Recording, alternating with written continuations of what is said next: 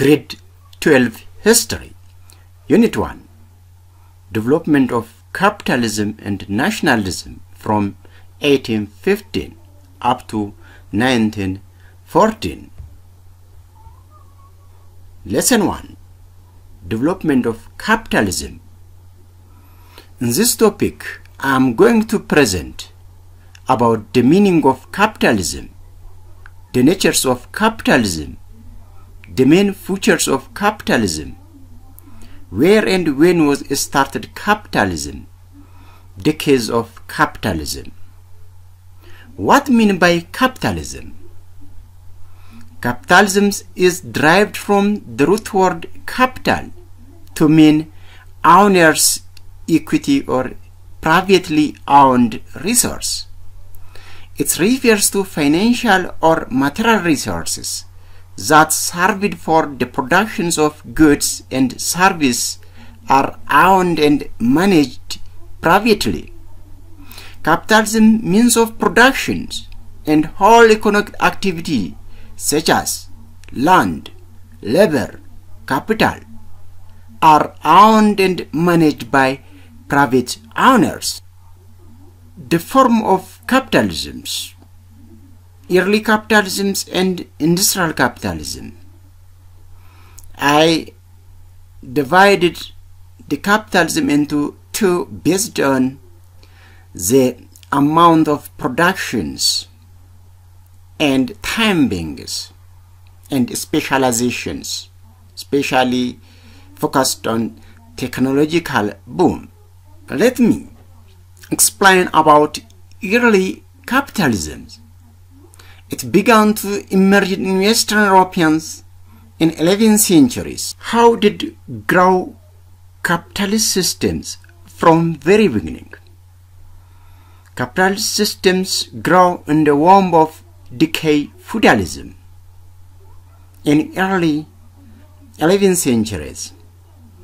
Capitalist systems has become dominant economic system in the Western world since breakup of feudalism. Where or when was consolidated capitalism? Capitalist systems consolidated in northwestern Europe or Great Britain and Netherlands from 16th centuries to 17th centuries. Capitalism consolidates due to establishment of mercantilisms and reformations. Mercantilisms and reformations were one of the factors that consolidating earliest capitalisms in 16th centuries up to 17th century. What does mean mercantilisms? Mercantilisms, as I've said that, it is one factor that consolidating earliest capitalisms in 16th centuries.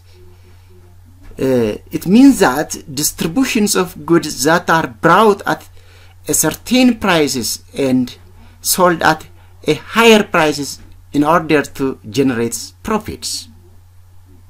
Especially the mercantile economic systems used by the Britons because Britons needed to accumulations of national capitals by the expense of other nations. However, she used more export than import. These systems began to decline in 18th centuries. Why? Why mercantilisms did began to uh, decline in 18th centuries? Because emergence of challenge economic theories on mercantilist doctrines, uh, especially one of uh, the, uh, the, the, the demands who known as Adam Smith.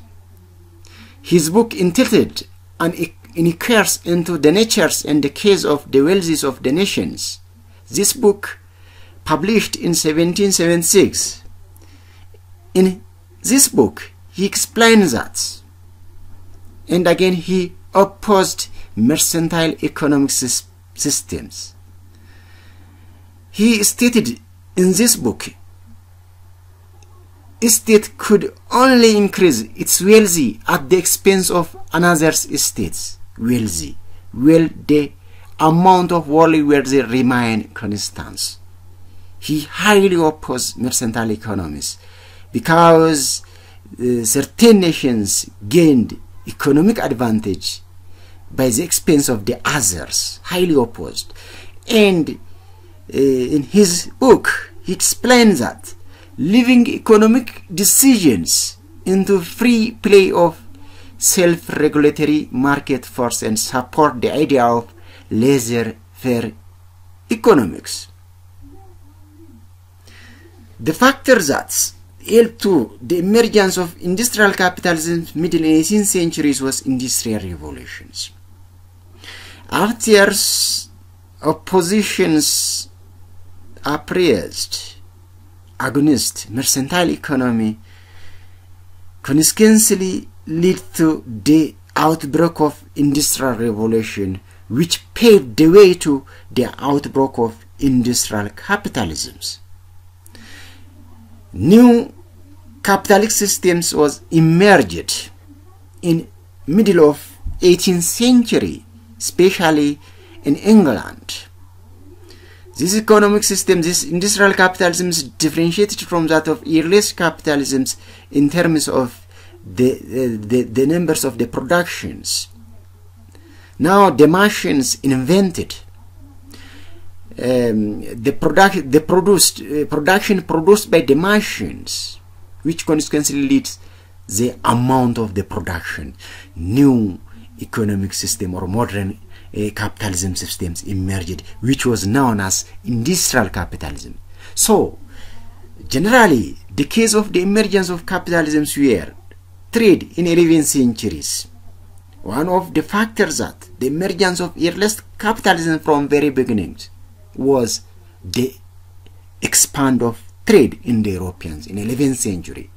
So, in 16th and 17th centuries, consolidations of capitalisms through transatlantic slave trades because the Britons accumulated the capitals through transatlantic slave trade and plantation agriculture in the South America in 16th and 17th centuries.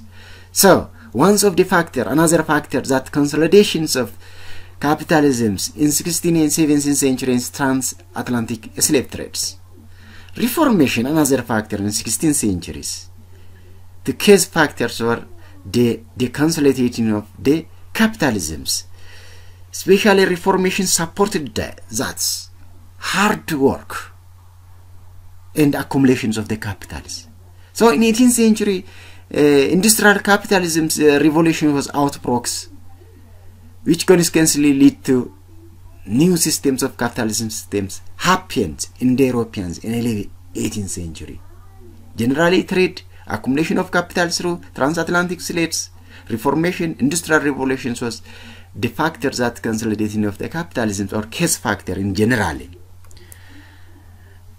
What are the major characteristics features of capitalism?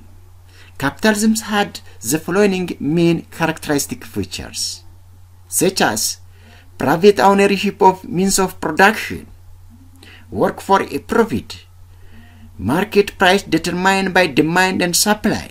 In addition, another characteristic feature of capitalism is the government impose fewer restrictions or the government interference less, which called laissez-faire. Accumulated capital to enlarge productivity cap capacities. Finally, uh, the capitalism systems also they include two social groups, especially uh, bourgeois and proletariats. Bourgeois is factory owners and proletariats, those who are known as wage workers or employers in the factories. This all about the historical development of capitalist systems in this world and the future of capitalist economic system. Goodbye students. See you next lessons. Goodbye.